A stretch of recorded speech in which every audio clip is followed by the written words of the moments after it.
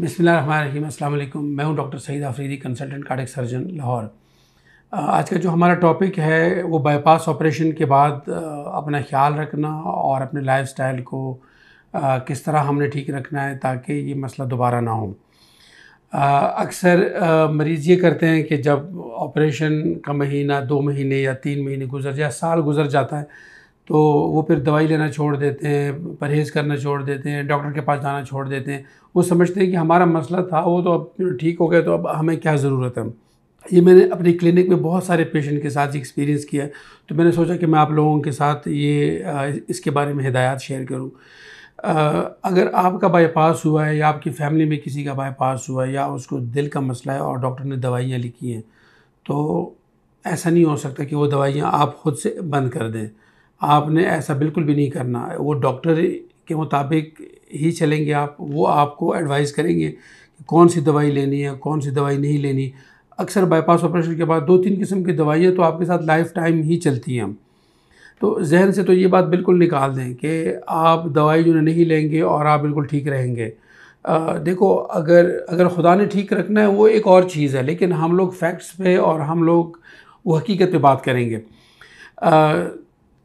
میں نے ایسے مریض دیکھے ہیں کہ جن کا تین سال پہلے یا دو سال پہلے اسٹنٹ ڈلا ہے یا دو تین سال پہلے بائی پاس ہوا ہے اور اب وہ آئے ہیں دوبارہ اسی مسئلے کے ساتھ۔ ڈاکٹر صاحب، تھوڑا سا ہم چلتے ہیں، درد ہوتی ہے، تھوڑا سا چلتے ہیں، سانس چڑھتا ہے۔ یا ہم سیدھا لیٹ نہیں سکتے۔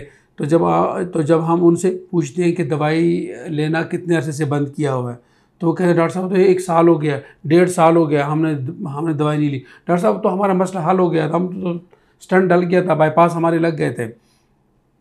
وہ کھانے بھی باہر سے کھاتے ہیں، وہ مرغن چیزیں کھاتے ہیں، چھوٹا بڑا گوشت، کوئی یعنی پرہیز نہیں کرتے اور بازاری کھانے وہ سارے استعمال کرتے ہیں۔ اگر آپ نے ٹھیک رہنا ہے تو آپ کو اپنے ڈاکٹر کے ہدایت کے مطابق چلنا ہوگا۔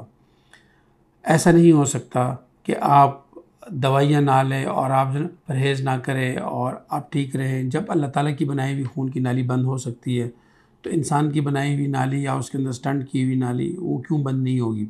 ڈیفینیٹلی وہ بھی بند ہوگی۔ تو یہ جو دو تین قسم کی دوائیاں میں نے بتائی ہیں، یہ آپ کے ساتھ لائف ٹائم کے لیے چلیں گی۔ آپ نے خود سے کوئی دوائی بند نہیں کرنی، آپ نے خود سے کوئی بد پرہیزی نہیں کرنی۔ اگر آپ بالکل ٹھیک بھی ہیں، اگر آپ کو کوئی مسئلہ بھی نہیں چل رہا، تب بھی آپ نے اپنے ڈاکٹر کے ساتھ ہر چھ مہینے میں ایک دفعہ ملنا ہے اور اپنے مسئلے بیان کرنے ہیں۔ انہوں نے آپ کا کولیسٹرول بلڈ پریشر شوگر وغیرہ سب uh, کے ٹیسٹ کروانے ہیں، تو اسی کے مطابق دوائیاں آپ کی وہ اوپر نیچے کریں گے۔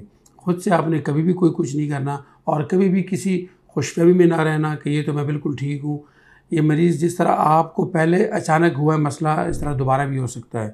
بائی پاس کا مطلب یہ ہرگز نہیں ہے کہ اب آپ uh, کو دوبارہ یہ مسئلہ نہیں ہوگا۔ بالکل ہو سکتا ہے۔ تو اسی لیے اپنا خیال رکھیں، اپنی دوائیاں کبھی نہ چھوڑیں۔ پرہیز کبھی نہ چھوڑیں۔ جو ڈاکٹر نے آپ کو بتایا ہوا ہے، اس کے مطابق آپ نے چلنا ہے۔ تو انشاءاللہ پھر فیوچر میں آپ کو زیادہ مسئلے مسائل نہیں ہوں گے۔